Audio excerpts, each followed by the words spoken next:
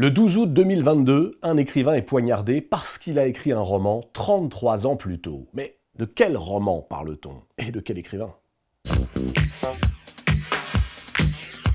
Salman Rushdie a été poignardé à plus de dix reprises par un fanatique religieux qui a admis n'avoir jamais lu l'ouvrage qui l'a conduit à ce geste insensé.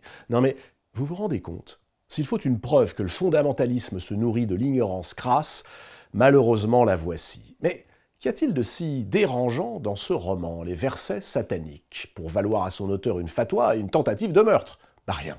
En tout cas, pas le moindre blasphème. Alors, je m'empresse de dire aussitôt que quand bien même ce livre eût été blasphématoire, il faudrait le lire et le défendre avec le même acharnement, car c'est précisément le rôle de l'art et de la littérature que de considérer que rien n'est sacré.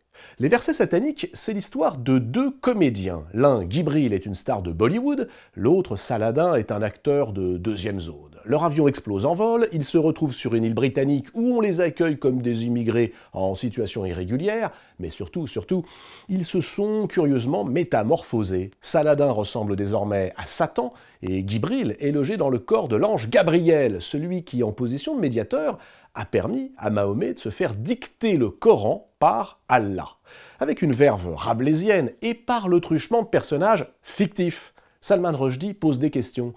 Mahomet a-t-il été scrupuleusement fidèle à la dictée tombée d'en haut Ou bien y a-t-il eu, ici ou là, de l'à peu près, une part d'imagination ou d'inflexion? Et puis, qu'est-ce qui autorise Mahomet à identifier la voix comme celle de Dieu? N'était-il pas au pouvoir de Satan de la contrefaire, cette voix Rushdie livre un grand roman comique qui s'inscrit dans la tradition de la pensée critique, c'est-à-dire de la liberté.